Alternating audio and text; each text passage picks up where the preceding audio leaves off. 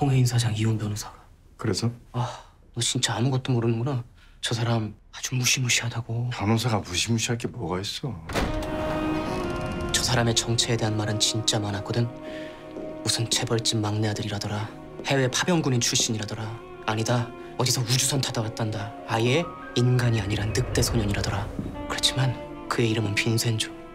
진짜 정체는 한 번만 봐주세요. 살려주세요. 살려주십시오. 마피아래. 마피아? 그 마피아 게임 할때그그 마피아? 아니 이 진짜 마피아. 그것도 콘실리에리까 보스. 아, 이탈리아에 있다고 들었는데 왜 들어왔지? 야, 빈센조는 협상할 때 말로 하지 않는데 Bisogno di parlare. 홍 사장님이 아무래도 마음을 바꾼 것 같아 널 용서하지 않기로. 어 봐라? 사실 네가 한 짓이 나쁘게 보면 한없이 괘씸하지. 사랑하는 척 완전 사람 기망한 거잖아. 네가 그래서 죽여버리고 싶을 거라고.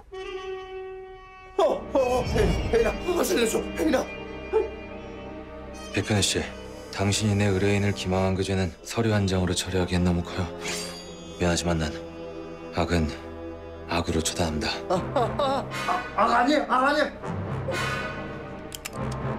혜인아 양기가 양기가 그랬어 양기가 시켰어 양기가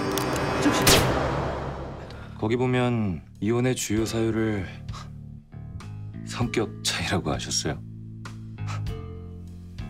깨까스 디너봇 깨빨 가장 무난하고 괜찮지 않나요? 홍혜인 씨를 보세요. 대중적으로 잘 알려진 초미모의 재벌 3세.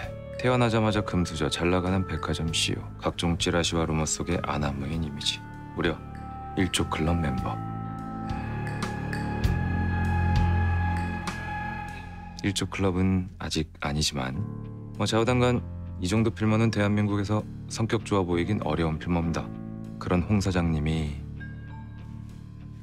일개 이사인 백현우 씨와 이혼을 한다. 근데 그 이유가 성격 차이다.